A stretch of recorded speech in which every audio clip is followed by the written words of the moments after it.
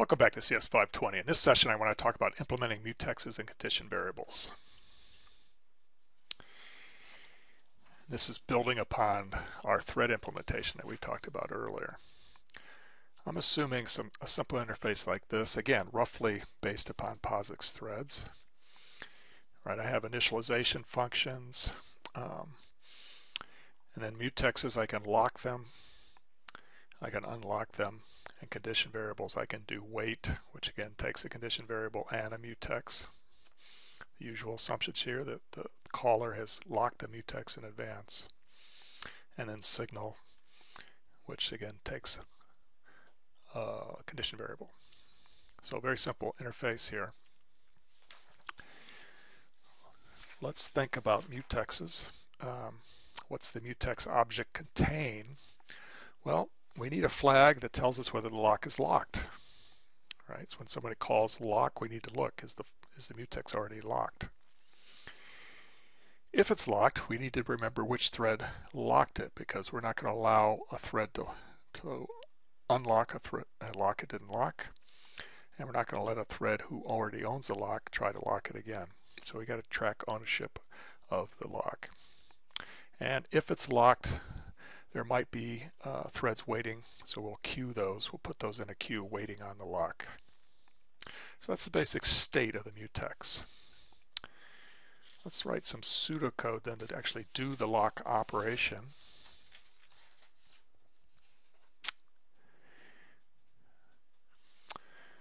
So a call, a thread calls lock. First thing we're going to do is we're going to check to see if the lock is locked it's not locked, if it's available, then we'll set the flag to say it's locked and we'll record the current thread's ID as the current owner of the, the lock.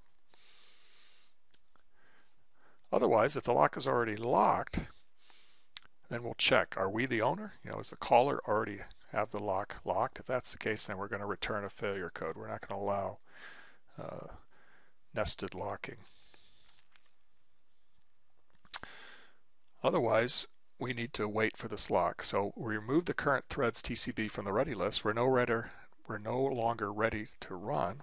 We're going to block the thread, and that's what, what it means to block the thread, right? Remove it from the ready list. So we take the TCB off the ready list, and we put it onto the end of this locks queue. It's going to have to wait. At that point then, we call our ASM yield, right? We can no longer run, so we need to yield the processor to somebody else when we wake up, right, when the lock becomes available to us again and someone yields to us, um, we set the flag to locked now. We, we can lock the lock now. And we set the owner to the current thread's ID. I guess that's that's a bug, right? Um, Let me think about this for a minute. I, can, no, I guess that's all right. When ASM yield, when we wake back up from that, we set the flag to locked and we set the owner to be the current thread's ID. We've woken up, so we're the current thread at this point. We record that. And then exiting either the if or the, the then or the else clause, at this point we're returning success. Okay. Does that all make sense, I guess, is the question for you to think about. Um, the key things are right in here, right? If we have to wait for the lock, we we pull ourselves off the ready list, we put ourselves in the end of a queue, and then we call the ASM yield to let somebody else run. That's how you do blocking, basically. When we wake back up, then we can, we're ready to grab the lock and uh, continue. So think about that, and then sit down and see if you can write the other half of this. Right? Can given the code for lock can you sit down and write pseudocode for unlock? It's a good exercise to make sure you understand what's going on here. Okay, what about condition variables? Let's think about what information we need to record for a condition variable. Well, there's going to be a queue of threads waiting. Right? When somebody waits, we put them in that queue. And when they call wait, they, they have a mutex associated with it. So we need to record for each thread that's in the queue, we need to record what mutex it held when it called. Because when we signal it and wake it up, we need to have it reacquire that mutex. Okay. So let's look at pseudocode for wait.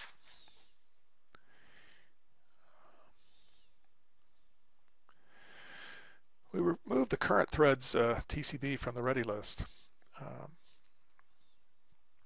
all right, we're, we're doing a wait, so we're going to block. We remove our current thread from the thread's TCB from the ready list. We place that TCB on the end of the condition variable's wait queue. We've got to remember to record the mutex. Again, the mutex would be a parameter to the wait primitive. We record the mutex in the queue entry. To do that, maybe we, we would add a field to the TCB for this purpose if the TCBs are just going to be linked on these queues like they're linked on the ready queue and presumably linked on the mutex queue that we just talked about. So we might just add a field to the TCB in order to, to handle that remembering of the mutex. Then we got to unlock the mutex, right? Because before we block, we need to release the mutex. So we we call the unlock routine or maybe a helper function that does the the, the guts of the unlock. Um, by the way, we, we do have an error check here that if if the T I'm sorry if the mutex that the caller passed to us is not locked by the caller, then we're going to fail out here. We're going to return failure out of the wait function. And of course, we'd have to really do that check before we pulled our TCB off the ready list. Um, so I'm being a little fuzzy here. Um, but once we've got our TCB in the wait queue and we've recorded the mutex and we've unlocked the mutex, then we can call ASM yield to let somebody else run while we're blocked. When we wake up then, we lock the mutex and carry on. Okay. So again, same thing. S see if that makes sense and sit down and write the pseudocode write the pseudocode for um, signal. Good exercise to make sure you understand this stuff. All right, finally, I've this discussion has been based upon assuming that we're implementing threads on a single processor. Um, but if we were building a threads library with mutexes and condition variables that were going to run on multiple processors, then we would we would use the compare and exchange instruction to do a low-level lock on these lock and condition variable objects so that we know we had exclusive control of these objects before we started working on them. And again, I actually mentioned that um, in the discussion of compare and exchange earlier in the course. So you want to make you want to go back and look at those slides.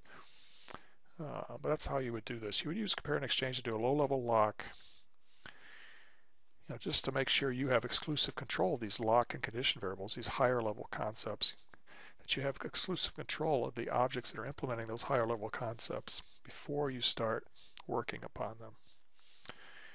Because in your multiple processor environment, people could be banging on those, you know, could be trying to access, access those objects at the same time with all the usual problems that that can cause. But compare and exchange can allow us to uh, implement a very low-level locking scheme. All right, that's a quick view of how to, uh, you know, if you've, if you've got an implementation of threads, how you can graph mutexes and condition variables on top of them.